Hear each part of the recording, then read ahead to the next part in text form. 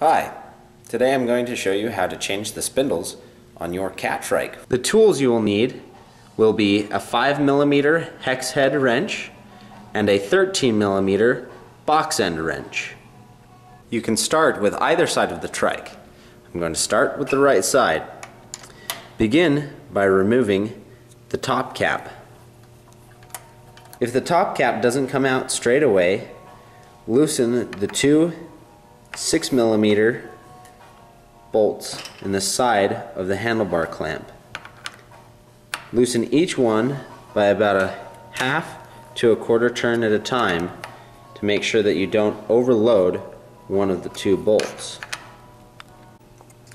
Once the two bolts here are loose, the top cap should come right off.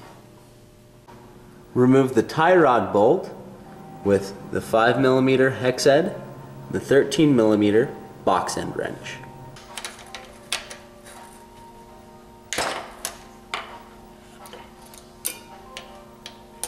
As you can see, since I have the trike up in the air, everything's wanting to come apart already. If you've got it on the ground, the whole assembly will stay together. May make it a little easier to deal with.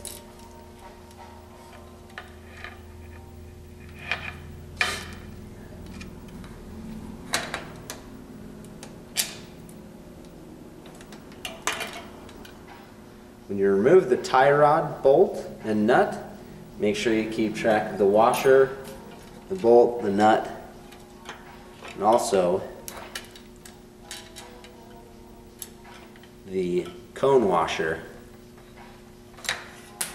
because that is also very important. And you may drop some tools, but that's okay. Once you have the spindle coming out of the wheel,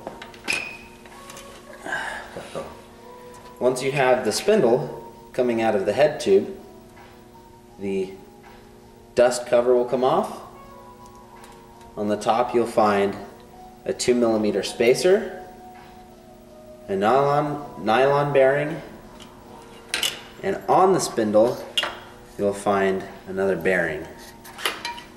Take the bearing off the spindle. I like to put everything on the seat just because it's up out of the way and you won't be fumbling with it.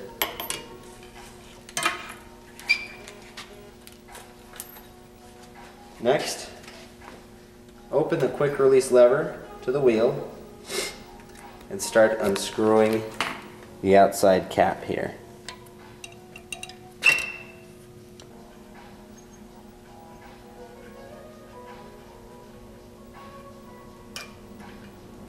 Once you have the end cap unthreaded, take that out. Then, to remove the axle from the wheel, push with your thumb the axle will just slide right out of the spindle like so. Keep track of the springs that are inside the axle.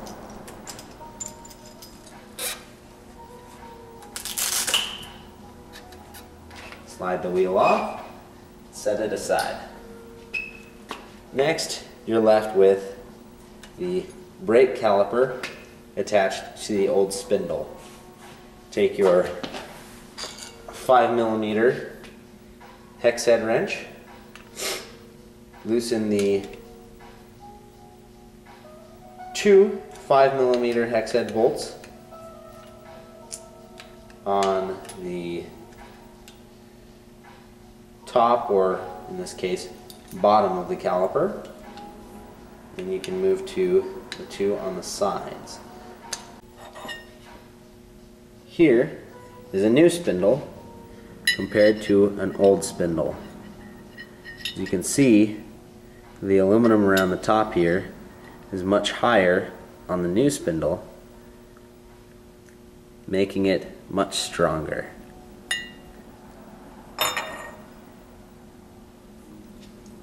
So, take the main bearing Slip it back down over the spindle. insert it into the head tube, nylon bearing, spacer,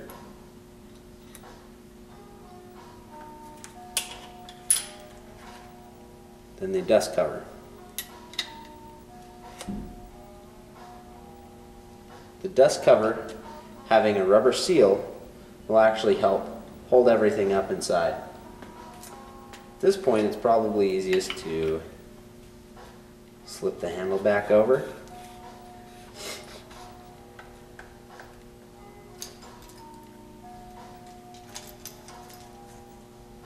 The top cap back in place and the top cap bolt.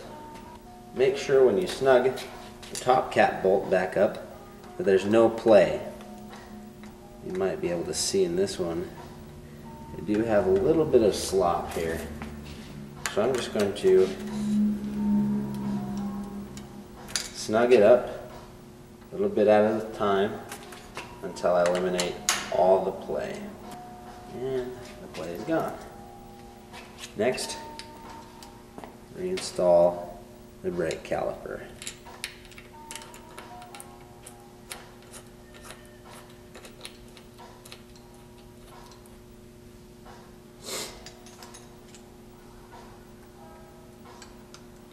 Make sure both brake caliper bolts have the washer on the bolt first, then through the spindle, then thread into the disc brake mount, caliper mount. There.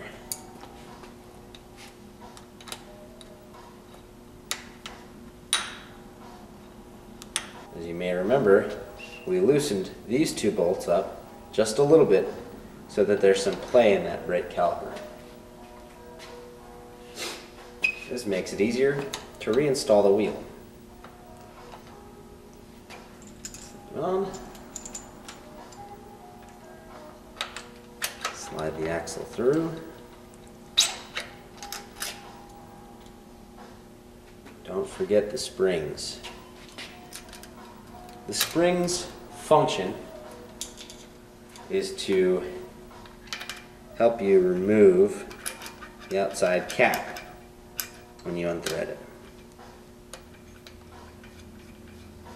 Set the spacing between the wheel and the handlebar to the desired distance.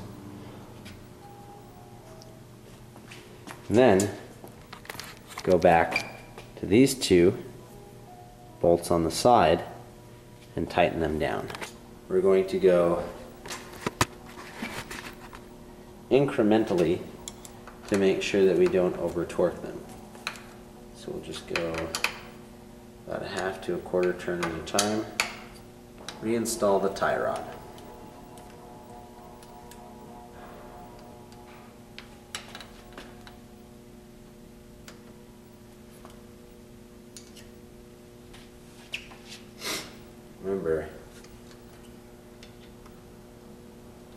Remember which way the tie rod bolt runs through and which side of the spindle it's mounted on.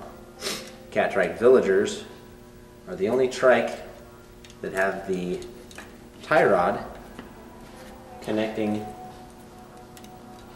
on the underside of the spindle with the hex head bolt running upwards.